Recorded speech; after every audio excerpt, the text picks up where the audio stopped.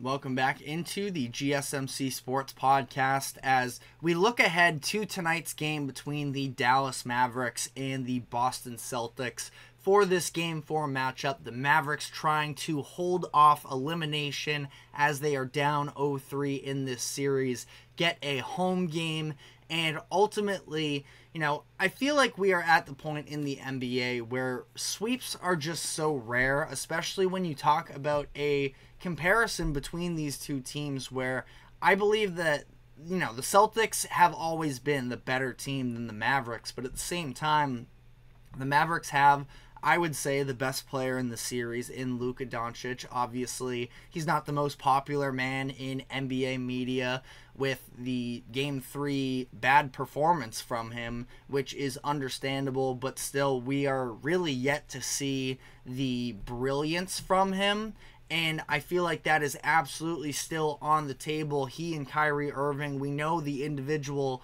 talent there, especially on the offensive side of the ball. And it's interesting because when you look at this series, as much as it feels like the Mavericks have really struggled to um, you know, keep pace with the Celtics by any means. It's not for a lack of defending the Celtics, where is typically where we feel like the Celtics are a three point shooting team, that they're this elite offense, and they are statistically, but this series has been about the Mavericks not being able to score enough points, where they've been held to under 100 points in every single game so far this series. And it is a situation where that has to be held on Luka and Kyrie. And I understand, of course, the other role players need to do a better job. And ultimately, when you look at the personnel on the court for the Mavericks, there just isn't necessarily that other creator for them for them to take over. But at the same time, there needs to be, in that same argument, a way for Luka and Kyrie to try and find a way to get these other players involved. And again, easier said than done when you talk about the switchability of this Celtics offense, but or the Celtics defense, I should say. And that sort of brings me into the point of during game 3, we saw Luka and Kyrie repeatedly try and try and hunt out these matchups against the Celtics bench players, Sam Hauser, Xavier Tillman, Peyton Pritchard, and try and take these guys one on one. And more times than not, the Celtics defense was able to hold up in those ISO situations because of the fact that they knew Luka was trying to play to the refs and he was going to try and draw fouls. And ultimately, again, I thought that it was just an extremely well coached game where we looked at a couple possessions of Sam Hauser in the switch and Peyton Pritchard in these switches where uh, specifically the Pritchard one where Luka had him in the short corner trying to back him down, and Pritchard just dropped his shoulder when Luka was trying to jump into him and get the foul call to go. And that's just the scouting of the Celtics, and that's something that obviously Luka is going to need to work on for years to come here. But it's also something that for him, he spoke to Malika Andrews of ESPN in an interview following that Game Three loss, and he talked about just trying to have fun again in these games. And we saw, you know, during that fourth quarter, the Mavericks were able to build build some things going. They understood that the refs weren't calling a lot of these fouls and they were being more aggressive defensively and trying to shut down the Celtics. Luka for and obviously Luka ends up fouling out of this game. I mean, again, he was kind of asking for it because of the fact that he was complaining to the refs the entire way through. And as much as you know he he i think that he sort of walked it back a little bit with his comments yesterday but when he's talking about the refs need to be better six fouls in the nba finals you can't just bank on the fact that you are a star and that you shouldn't get you should get calls in your favor where I think that that's something that Jayson Tatum, as Kelsey says in the comments section, he insults the officials. He's barking at them every single time. Jayson Tatum, on the other end, you know, he really struggled also arguing with the refs for a very large portion of his career. And it seems like now that he's starting to put that behind him, he is able to evolve from a maturity standpoint to a certain degree. And for Luka, I mean, it's not just the barking at the officials, it's the fact that he just kind of sits there and pouts at times after he tries to go up and score on the offensive end,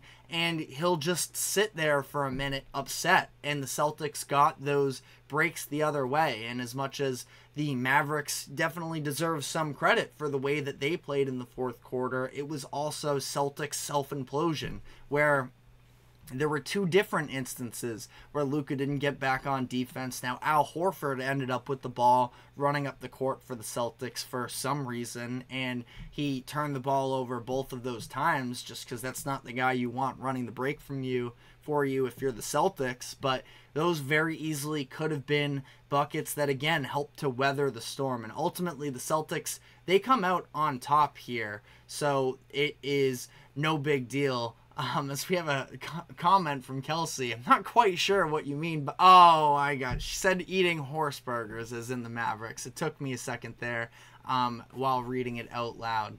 Uh, good one, Kelsey. But I think that you know the Celtics did a lot of the damage to themselves in those minutes. Yes, I got it now.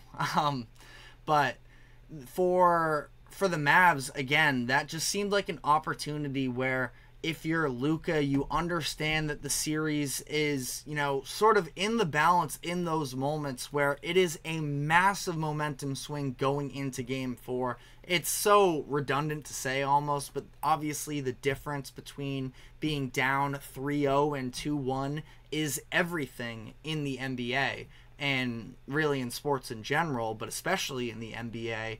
And it just feels like you know that's where he has to be better and hopefully when he makes these comments to Malika Andrews of he just wants to have fun again that he can just play this game as much as personally I'm a Celtics fan. You want to see Luka because his skill set when he's actually firing and he's not arguing with the refs and he's doing what we know he can is so fun and the complete tearing down of him as his character and who he is as basketball player because of that game 3 performance is unfair in my eyes and it is not indicative of who he is. As Kelsey says Luka can learn from this. And you know I was listening to some Boston radio because I, I do it every once in a while, not something that necessarily uh, I do too often because of some of the narratives that they push out. But I'm just hearing about how much of a loser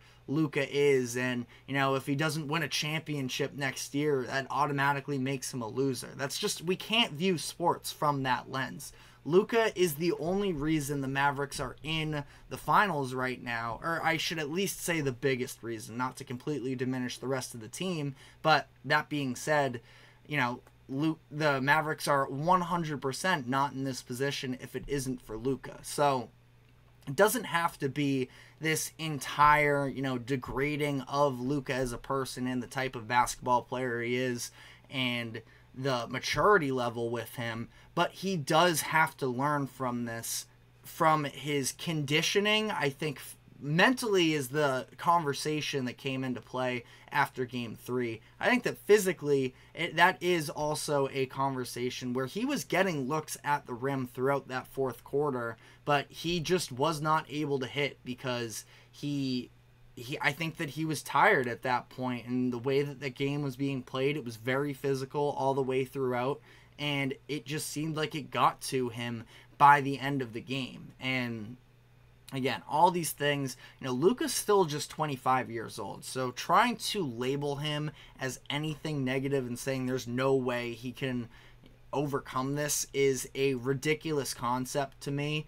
I feel like a couple years ago, I sort of came to the realization of putting caps on people is just kind of a ridiculous way to go about this sports discourse. Obviously, we can talk about limitations of players and you know it does but ultimately again to state things as impossibilities when a player is 25 years old and he's still learning sort of on the fly. This is his first experience of anything like this, of making the NBA Finals. Obviously, had a ton of accomplishments for himself in Europe. I don't think that it has to be this massive referendum of who he is. Uh, no, I am in Massachusetts. I am in Boston. I'm going to be going into Boston tonight, that is, to hopefully be celebrating a Celtics championship. But, you know, I to the question that is on the screen right now, do the Mavericks have any chance of coming back? Ultimately, I think the answer is no. To be able to win four straight games against this Celtics team, the Celtics have been the best roster in the NBA all season long. So, it's just not something that I think they can fully overcome. That being said, game four tonight, I have a hard time picking sweeps in the NBA ever because with the three point variance and with the level of talent that there is in the NBA, I just think that it's a little bit rare, especially when you want to dive into the psychological perspective of humans, you know the level of desperation that you play with. That being said, Celtics, it feels like they were willing to give up a little bit in that fourth quarter of game three, and the fact that the Mavericks weren't able to take advantage when the Celtics had their eyes on bigger things and they were caught up in the moment, that feels like it is going to be detrimental. Ultimately, Mavericks are favored tonight, so I don't know if I necessarily would advise you to pick one way or the other. The Mavs have a great chance tonight, but as for the series as a whole, I don't think it happens. Now, great chance this could happen uh, coming back to Boston on Monday night, but I think that this series is just about a wrap, but definitely be sure, be sure to let us know in the comment section your thoughts on whether or not we could see the improbable. But we're going to be taking our final break of the show now. When we come back on the other side, want to dive into the sanctions that the NFL put out against the Atlanta Falcons for tampering in order to get Kirk Cousins and whether or not it was enough. So stick with us. We will be right back after this quick break.